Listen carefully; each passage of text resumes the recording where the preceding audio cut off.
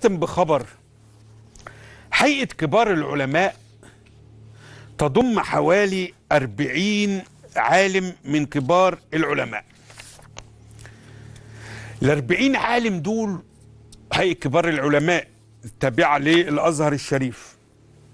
على مدار تاريخها ال 40 عالم من الرجال. من الرجال. دول لهم سلطة التشريع آه، بيؤخذ برأيهم آه، بيستشاروا بيفتوا. حاجة بهذا الشكل. بيجتمع بهم فضيلة الإمام الأكبر شيخ الجامع الأزهر. يعني ليهم رأي. اللافت للنظر هيئة كبار العلماء العلماء ما فيهمش امرأة واحدة. ليه؟ يعني لو انت بتتكلم عن الإسلام الحديث الشهير بتاع سيدنا النبي عليه الصلاة والسلام خذوا نصف دينكم من تلك الحميراء وبيشاور على السيدة عائشة رضي الله عنها. النهارده أحد السادة النواب النائب محمد فؤاد عضو مجلس النواب آه، قدم مشروع قانون بتعديل بتعديل بعض أحكام القانون الفلاني لسنة كذا بشأن إعادة تنظيم الأزهر وكان بيتكلم على الخبر ده الأسبوع اللي فات كان بيتكلم على إن ضرورة وجود آه، نسبة تمثيل للمرأة في هيئه كبار العلماء بنسبة 25 في المية. معايا على التليفون عضو المجلس الأعلى للشؤون الإسلامية فضيلة الأستاذ عبد الغني هندي. مساء الفل. مساء الخير على حضرتك وكل السادة المشاهدين. أهلا وسهلا. آه، عندك تفسير إن هيئة كبار العلماء ظلت طول تاريخها لا يوجد بين أعضائها سيدة أو امرأة يعني هو بس أنا في عندي تصحيح تاريخي هي هيئة كبار العلماء آه، أنشئت سنة 1911 كان على يد الم- المرحوم الشيخ سليم البشر عليه رحمة الله وهي استمرت لسنة 1961 لأن صدر قانون 103 سنة 61 فما بقاش في هيئة كبار علماء كان اسمها جماعة كبار علماء. وبعدين بعد كده بقى في مجمع بحوث إسلامية لحد سنة 2013 بقى انشئت هيئة كبار العلماء اللي اشترطت عدد 40 عضو. وحضرتك آه، هي ال- الاست- الاستغراب مش كده بس. هو كمان من سنة 2013 لحد دلوقتي كل أعضاء الهيئة 18 عضو بس. يعني هي 40 عضو و- وأعضاء الهيئة لم يكتملوا لم يكتمل النصاب إلى الآن.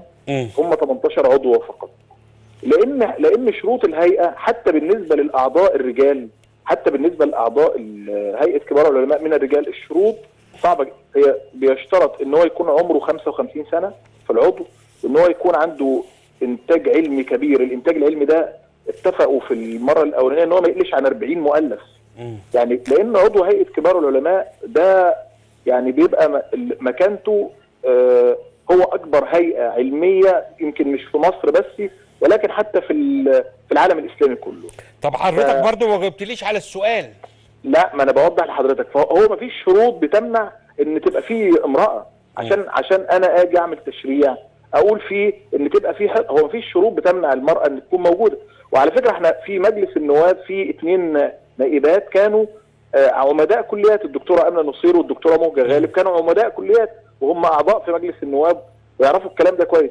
هي المشكلة إن شروط هيئة كبار العلماء لإن اللجنة تختار عضو هيئة كبار العلماء الشروط صعبة مش مش فيما يخص المرأة بس حتى فيما يخص أعضاء هيئة كبار العلماء من الرجال. وبالتالي لا توجد آه، امرأة مسلمة لها نتاج فكري 40 مؤلف مثلا. لا هو حضرتك ال- السؤال بقى بتبقى في لجنة اللجنة دي بتتقدم لها اللي عايز يقدم في هيئة كبار العلماء من من الأعضاء فبتقدم تقول إن أنا عندي الإنتاج العلمي كذا وأنا مطابق عليها الشروط اللي موجودة في هيئة كبار العلماء ولم يتقدم أحد ما تقدمش ما سمعناش مثلا إن في أستاذة أو أو عالمة من العلماء تقدمت في هيئة كبار العلماء فهو الإشكالية مش موجودة عند الأزهر.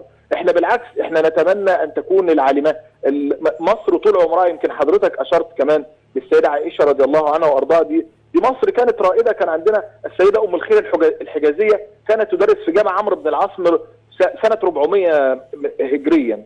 لكن القضية إن هو من المفروض اللي بتنطبق عليها الشروط سواء كانت عالمة أو من العلماء بيتقدم لهيئة كبار العلماء للجنة المختصة بيقول له أنا عندي الإنتاج العلمي أنا مطابق السن لكن إن أنا أعمل تشريع أقول فيه إن في كوتا ده مش مش موضوع انتخابي. يعني مش يعني ده مش أمر في ده ده كيان علمي له له وقاره العلمي بشكل معين وله مكانة في العالم. هو هو في الشروط لو فيها آه، إن إن يتقدم الرجال هو فقط من حق عضو مجلس النواب الفاضل إن هو يقول إن ده في مخالفة للدستور زي الكلام الكتير اللي هو بيقوله. لكن في الحقيقة هو يسأل ال ال لماذا لم تتقدم ال ال الأساتذة أو أو العالمات لم يتقدمون لهيئة كبار العلماء لأن مفيش حد منذ أن فتحت الهيئة وأعاد فتحها مرة أخرى من سنة 2013 لحد دلوقتي ال- م- مفيش حد تقدم والازهر آه، يعني درس الموضوع بتاعه ورفضه. فهو ال ال الإشكالية ما فيهاش إشكالية ولا محتاجة إن هو إن هو يكون تشريع. هي محتاجة إن يبقى في تحفيز بالنسبة لل أشكرك الأستاذ. عبد الغني هندي عضو المجلس الأعلى للشؤون الإسلامية. فقرتنا الإخبارية الأولى انتهت. هطلع فاصل قصير وبعد الفاصل نرجع إن شاء الله نكمل معاكم ونشوف تقرير عن الأمن العام التقرير الأسبوعي.